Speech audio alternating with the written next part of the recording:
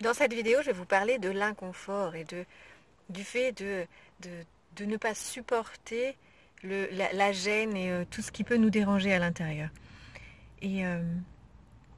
en fait, on vit dans une société où bah, si t'es pas heureux, t'as gâché ta vie. Et euh, si tu souffres, eh bien, c'est que tu es faible et c'est que tu ne sais pas gérer tes émotions. Et donc évidemment, ça met une sacrée pression quand, bah, quand quand on vit de, l'insécurité, quand on vit de l'inconfort. Et, c'est là euh, où, où, je vais euh, essayer de vous expliquer quelque chose et vous montrer que eh ben, ça arrive et il y a une technique pour réussir à, passer cette, cette sensation d'inconfort pour justement la laisser passer, l'accepter et ensuite la laisser euh, reprendre le cours de sa vie. Il y a une étude qui a été faite encore aux États-Unis où euh, euh, des chercheurs ont demandé à un grand groupe de personnes de euh, s'installer dans une pièce et, et, de se mettre des, des chocs électriques. Donc la plupart, enfin la totalité, ils ont rigolé en disant bah non, je vois pas pourquoi je ferais ça. Je vais, je, je, vais juste attendre et puis je vais repartir. Et, dans la grande majorité des cas, en fait, ben le, le, les résultats ont été surprenants parce que il faisait rentrer les candidats individuellement dans les pièces et il les laissait dans une pièce tout seul, sans rien faire, et euh, avec juste euh, branché un, système électrique pour se, donner un coup, de, un jus, un peu comme euh, les clôtures pour les animaux, les, clôtures pour les, le bétail. Et donc, c'est, ça fait pas forcément très mal, c'est juste se, se, faire un petit peu mal et voir jusqu'où le mental humain est capable d'aller. Et en fait, dans la grande majorité des cas, ce qui s'est passé, c'est que euh, arrivés à un moment de leur expérience, eh bien, les hommes et les femmes ne s'ennuyaient et ne se supportaient plus tout seuls. C'est-à-dire que l'être humain a du mal à vivre avec lui-même tout seul et à s'accepter tout seul. Et donc là, dans cette expérience-là, ce qu'il faisait, c'est que bah, pour passer l'ennui, eh bien, il se préférait se mettre des coups de jus pour voir, 1, 2, 3, 4, pour voir ce que ça fait, et surtout pour passer et pour faire autre chose et pour ne pas avoir à se supporter soi-même. Et c'est ça aussi le problème de, de, de, l'inconfort, c'est-à-dire bah, la plupart des victimes de manipulation ont peur de se séparer du manipulateur parce qu'elles ont peur de se retrouver toutes seules avec elles-mêmes. Et c'est là où l'enjeu le, est de taille, c'est réussir à passer cet inconfort de j'accepte d'être toute seule avec moi-même, J'accepte d'être tout seul avec moi-même et, euh, et je vais le vivre de façon posée et peut-être pas forcément agréable, mais en tout cas au début, acceptable. Et en fait, c'est comme, euh, c'est comme un peu pour le stress. Le stress, il existe le stress positif et le stress négatif. Et le corps va vivre le stress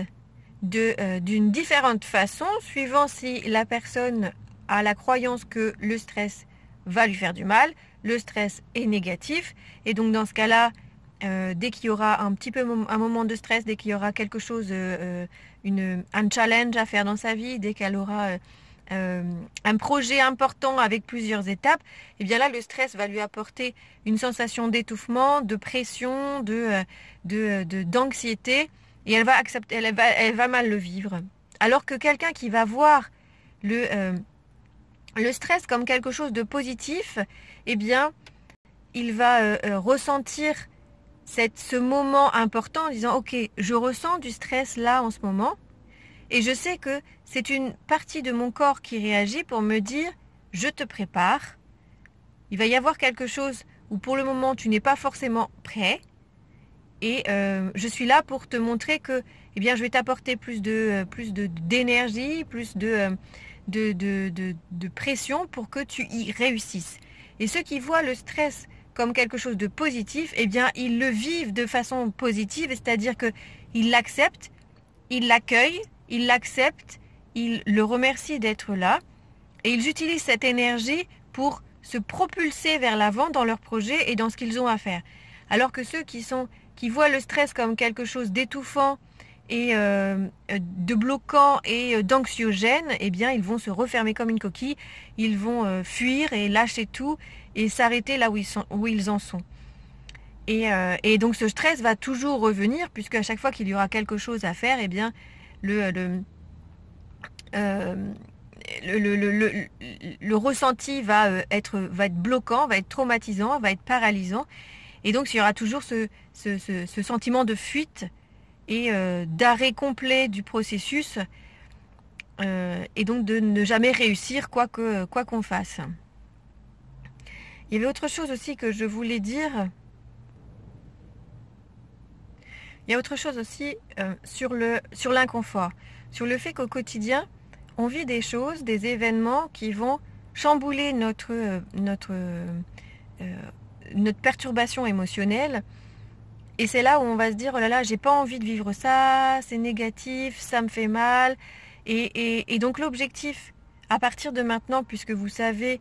que euh, le stress est, peut-être positif ou peut-être négatif, que l'objectif de votre vie n'est pas de vivre totalement dans l'harmonie et dans une vie de bisounours, ou alors totalement dans la misère et dans l'acceptation de l'inconfort total et euh, de, euh, de cette capacité qu'a l'être humain à accepter l'inacceptable, quitte à se s'auto-flageller au maximum pour vivre une vie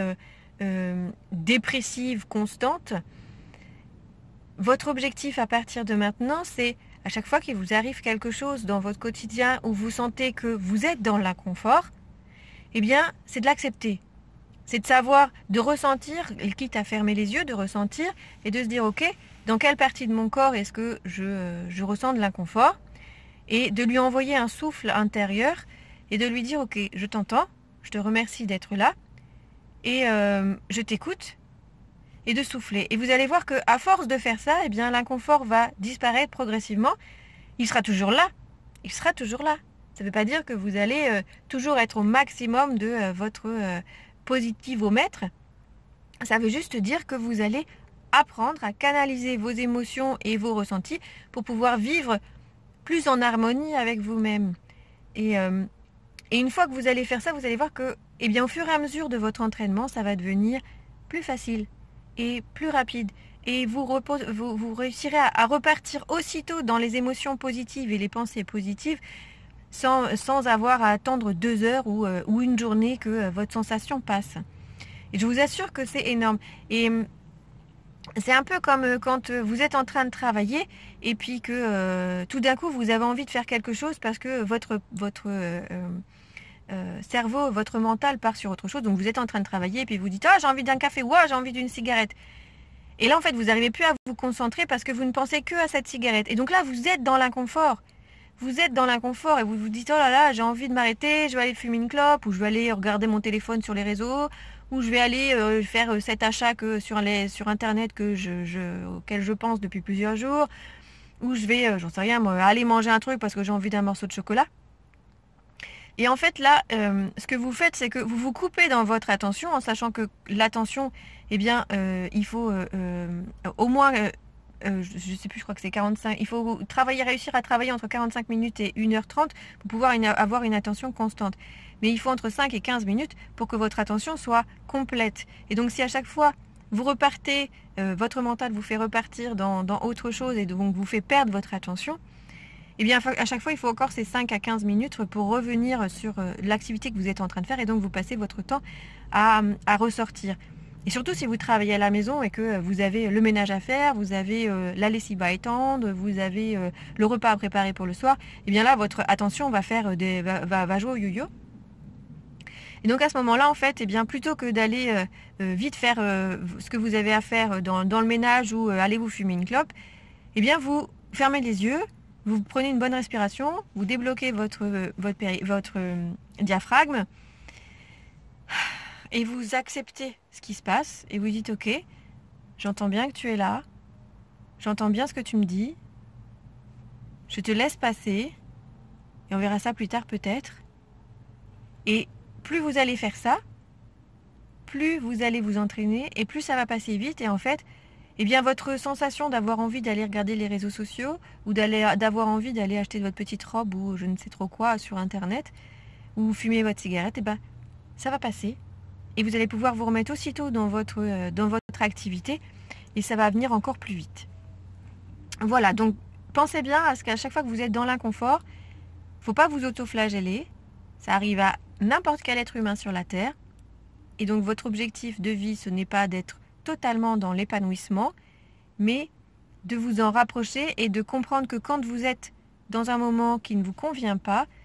euh, au niveau émotionnel, c'est à vous-même vous reprendre en main, de vous dire ok, j'accepte, demain ce sera mieux, j'accepte de le ressentir aujourd'hui, et là j'ai envie d'aller mieux. Et ça passe. Belle journée